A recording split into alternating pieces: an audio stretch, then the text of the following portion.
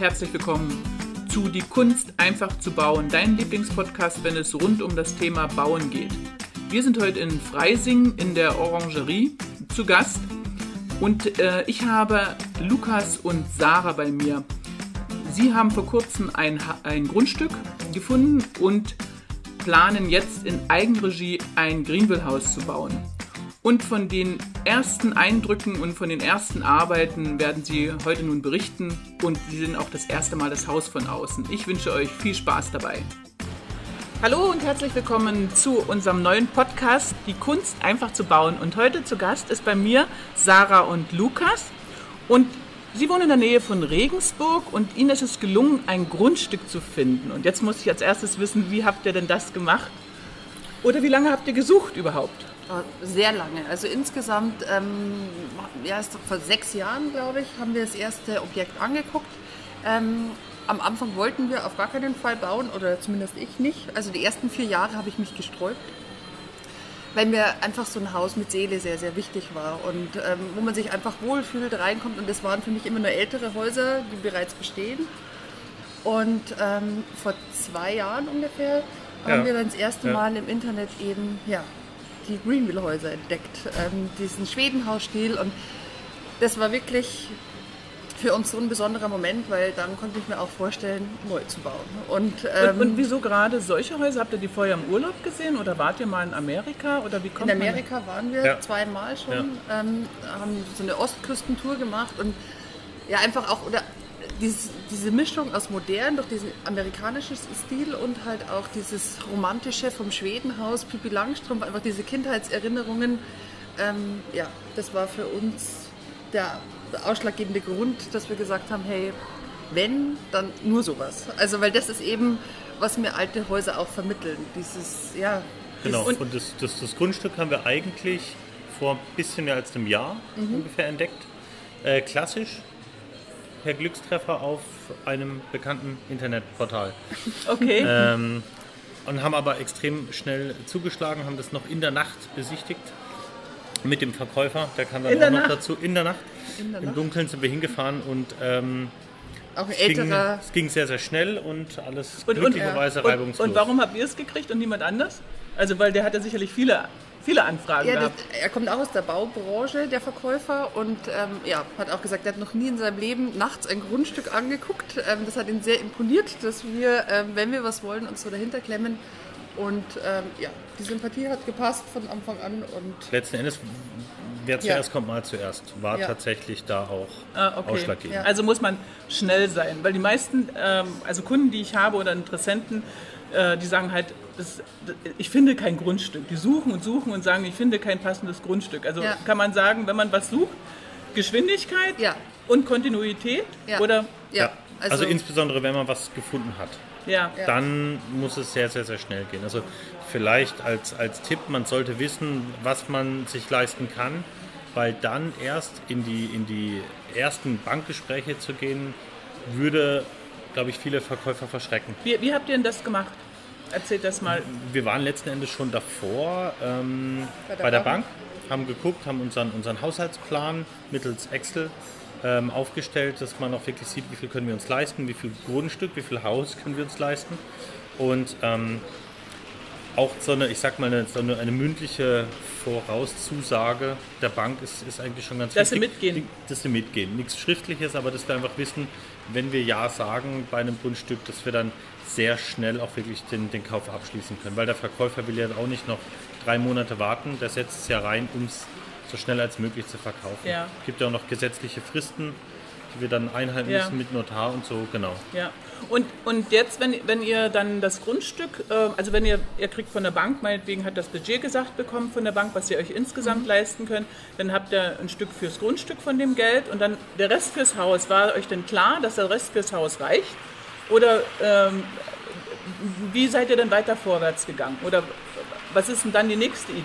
Äh, nächste Schritt gewesen? Oder wie seid ihr denn, was habt ihr gemacht? Dann haben wir sie angerufen. Ja, das weiß ich gut. Das, das, das weiß ich noch. Kriegen sie es hin? Das, hab, das weiß ich noch. Und ich habe gedacht, oh Gott, ob das wohl geht, aber da habe ich gerade eine Idee.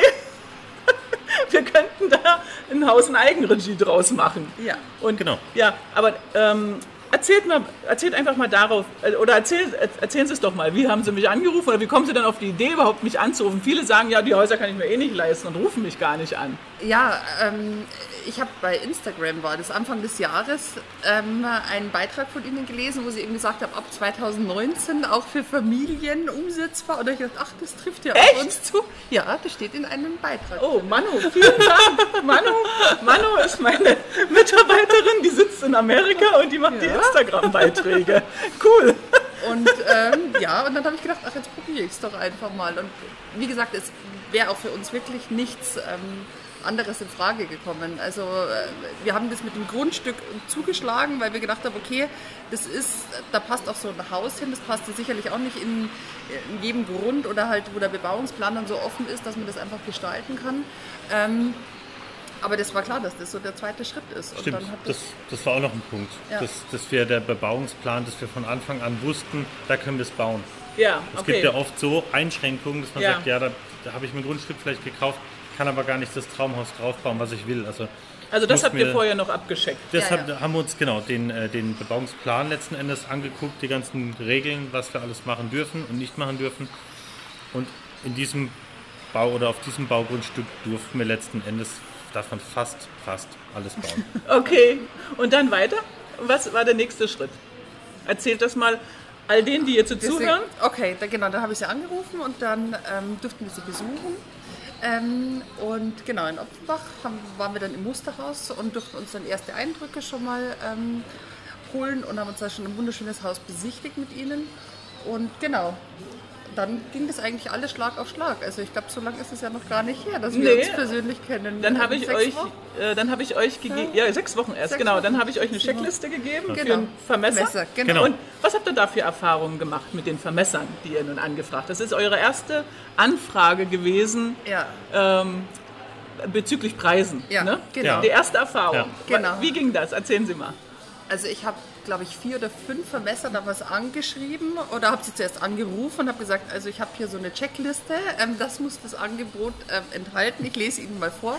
Das fanden sie dann schon ganz witzig und habe ihnen das dann nochmal danach per Mail geschrieben. Ähm, drei haben sich dann zurückgemeldet von den vier, fünf, die ich da angefragt habe. Und genau, und das war eigentlich gar kein Problem. Also mit dieser Checkliste, dass man weiß, hey, was, weil klar, mit diesem Schnurgerüst, was da drin steht, als Laie, hat mir das am Anfang jetzt auch nicht so viel gesagt, ähm, wenn man sich halt damit beschäftigt, aber das ist was Machbares. Und die Leute finden es witzig, dass man eine Checkliste dafür hat und das war eigentlich so gar kein Problem. Geht auch nicht ohne. Also Nee. muss man fairerweise dazu sagen, ohne, ohne die Checklisten, auch äh, die Checklist mit, mit anderen Unterlagen, was benötigen wir, ähm, wäre es nicht gegangen. Weil wir sind Laien, ja. Ähm, ohne das keine Chance. Also wir hätten bestimmt irgendeinen Vermesser bekommen, der hätte auch irgendwas vermessen, aber nicht das, was am Schluss sie benötigen ja, dafür. Ja, ja. Und auch im, um, im Grunde genommen ist es ja dafür da, den besten Preis rauszufinden. Ja. Und zwar mit einer Komplettleistung. Weil Genau. ansonsten kriegt man nur Die die einzelnen Stücke, diese ja. einzelnen Stufen und beim nächsten Mal muss man wieder ein Angebot haben. Dann ist es Genau. halt wieder 100 Euro teurer Ja. und so summiert sich das Ganze. Ja. Und um diese Kosten in den Griff zu kriegen, Genau. dafür ist es im Grunde genommen notwendig. Ja? Genau. So, dann habt ihr ja heute nun das erste Mal eure Pläne gesehen. Ja. Ja. Wir haben Und- schon gesagt, es fühlt sich an wie heiraten. Nochmal heiraten, wenn man ja von der Ja. Aufregung her. Ja, ist das so? Ja, Ja. ja. Äh, und äh, bei den, also, also vielleicht muss man fairerweise noch sagen, äh, wir haben ja die Pläne gemacht aufgrund dessen, dass wir uns unterhalten haben. Also ihr habt einfach erzählt, wie ihr wohnen wollt. Und zu wie viel Prozent haben wir es hingekriegt?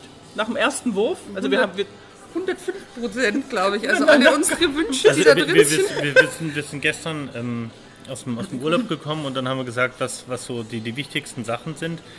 Und ähm, eigentlich ist alles drin, ist von, alles von, drin. von der, von der, Ja. von der Essnische, wo wir gesagt haben, das wäre ein Traum.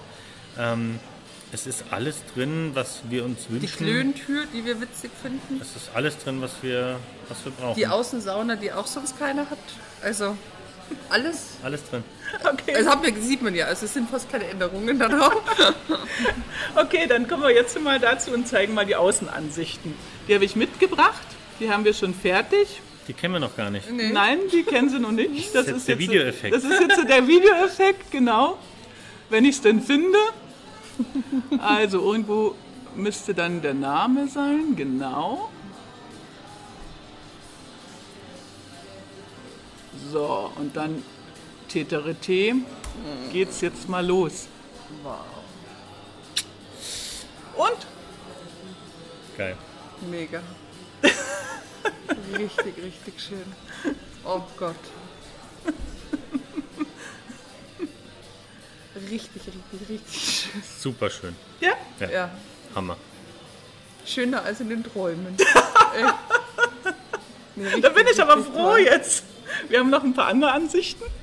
Wir können es auch immer reinzeigen. Ich weiß nicht, ob man es in der Kamera sieht. Hammer. Ist gut? Ja. Gefällt es euch? Sehr gut. Wir sind auch, also weil wir ja das Budget kennen, äh, es, es ist nichts dem Zufall überlassen. Es sind einzelne Fenster. Wir haben keine doppelten Fenster, also um die, die Kosten der Fenster einfach auch gering zu halten. Äh, ja, aber es passt auch nichts anderes. Es ist so einfach, ist einfach perfekt. Ja, es ist Wirklich perfekt. Moment, jetzt zeige ich euch noch eine andere Ansicht.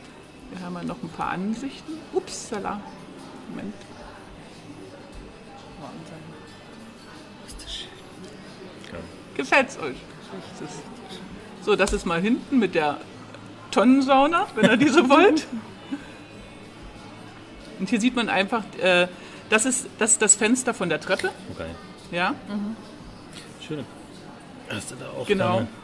Fenster für den Sch und dann haben wir hier noch eine Ansicht. Mehr Ansichten haben wir jetzt heute nicht. Aber dass ihr das auch nochmal seht. Okay? Richtig, richtig schön. Sehr, sehr schön. Ja, da bin ich jetzt aber froh. Dass es euch gefällt. Da bin ich ja richtig froh. Äh. Äh, sprachlos. Das ist echt. Fensterläden. Das ist für einen Podcast gerade ganz schlecht, dass wir, sprach, dass wir sprachlos Blöd, ne? sind. Ja. Das ist gerade ganz blöd. Äh, wunderschön. Ja, und der nächste Schritt wäre jetzt, äh, also ähm, ich, ich klinge mal jetzt den Podcast aus, sonst, sonst kann ich nur schweigen hier. Der nächste Schritt wäre im Grunde genommen, wenn euch das gefällt, also wir machen noch ein paar kleine Änderungen, was wir gerade jetzt besprechen. Und der nächste Schritt wäre einfach die Kalkulation, Ja. dass wir Ja. einfach in das Budget reinpassen. Ja. Und ja, dann treffen wir uns einfach das nächste Mal und dann besprechen wir das weiter. Sehr gerne. Und wenn ihr alle Lust habt, dann kommt einfach das nächste Mal wieder bei uns in den Podcast und dann seht ihr, wie es einfach ist zu bauen. Ja, okay. Genau. Also, ciao. Tschüss. Tschüss.